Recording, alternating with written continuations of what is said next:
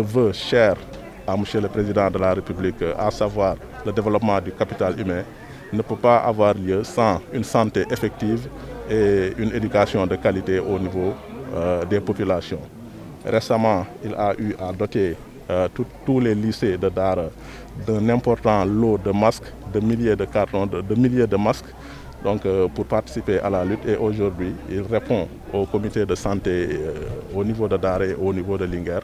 Donc euh, cela, on espère que va participer à amoindrir les problèmes et à lutter efficacement contre la maladie qui est une réalité ici au niveau du Djolof. Ces actions ne datent pas d'aujourd'hui parce que qui sait Samba Ben sait qu'il a toujours répondu présent à l'appel de, sa population, à l'appel de son terroir.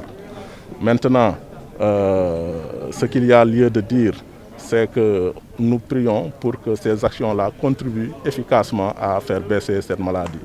Et on a de l'espoir parce que c'est le lieu de féliciter tous les acteurs de la santé qui, jour et nuit, euh, luttent efficacement pour que cette maladie baisse.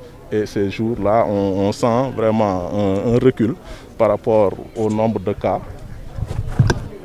Et on espère que ces produits-là donc, euh, vont être utilisés par les populations parce qu'on a l'habitude de le dire, à problème communautaire, réponse communautaire.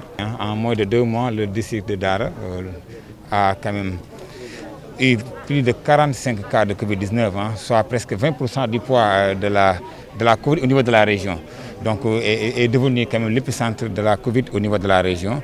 Et ceci a quand même euh, insisté au préfet du département, qui est le président du CDG, à lancer un appel.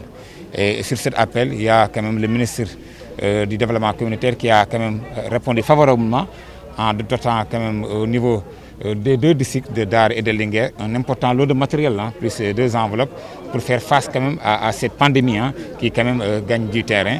Et je pense qu'il a répondu favorablement et cet important lot de matériel qu'on vient de recevoir va quand même eu des résultats favorables par rapport à cette lutte qui est déjà menée depuis presque quelques semaines.